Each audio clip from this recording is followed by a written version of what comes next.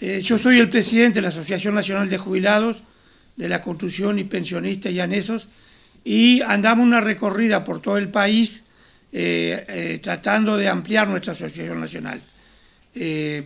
hoy contamos con unos 300 afiliados a nivel nacional, tenemos fuerza naturalmente en Montevideo y en, en los departamentos del litoral. Esta organización de jubilados ha encontrado que aquí en Tacuarembó hay 9.000 jubilados y entonces es importantísimo que los jubilados de la construcción y sus pensionistas se organicen aquí.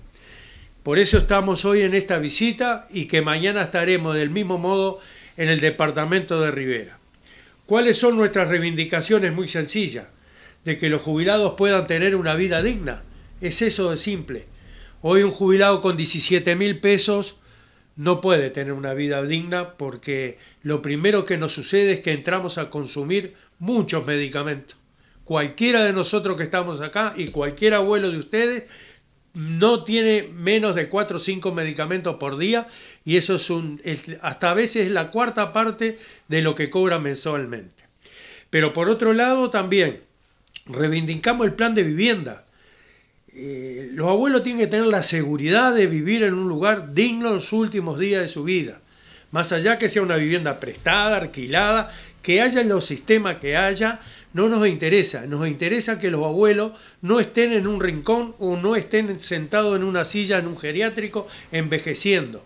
Tienen que tener una vida digna y eso es parte de nuestra lucha. Otra de las cuestiones que no queremos olvidar es que nos tienen que devolver el aguinaldo. Los jubilados teníamos aguinaldo, así como tienen hoy los militares aguinaldo, pero en la época de dictadura perdimos el aguinaldo. Y seguimos en ese reclamo. Nos pueden decir que es mucha plata, no es un problema de plata, es un problema de dignidad y de derecho. Nosotros tenemos derecho a continuar cobrando el décimo tercer sueldo, como lo aportan todos los trabajadores, aportan el décimo tercer sueldo y cuando se jubilan ya no lo cobran más.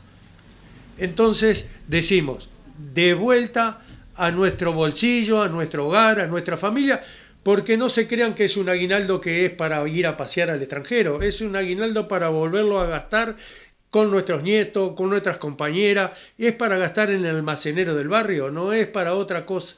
Por eso reclamamos eso. Y dentro de nuestros reclamos, por ejemplo, estamos apoyando firmemente a ONASPU, que es la Organización Nacional de Jubilados y Pensionistas, donde está reclamando que se vuelvan a tomar las pesquisas oftalmológicas. ¿Por qué? Porque hoy las asociaciones lo podemos hacer simplemente con los jubilados que están afiliados a una mutualista. Y los de ACE se puede decir que casi están desamparados. ¿No verdad? Por eso queremos que tanto los que están afiliados a ACE como los que están afiliados a una sociedad médica, nuestras asociaciones puedan hacer las pesquisas oftalmológicas y que puedan ser derivados después al hospital de ojo.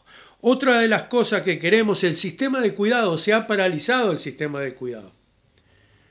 Por ejemplo, no quiero tomar un caso personal, pero estoy pasando por un momento donde un hermano mío está avanzando hacia una posible enfermedad demencial y tenemos que dedicarle mucho tiempo y eso lo hacía el sistema de cuidados.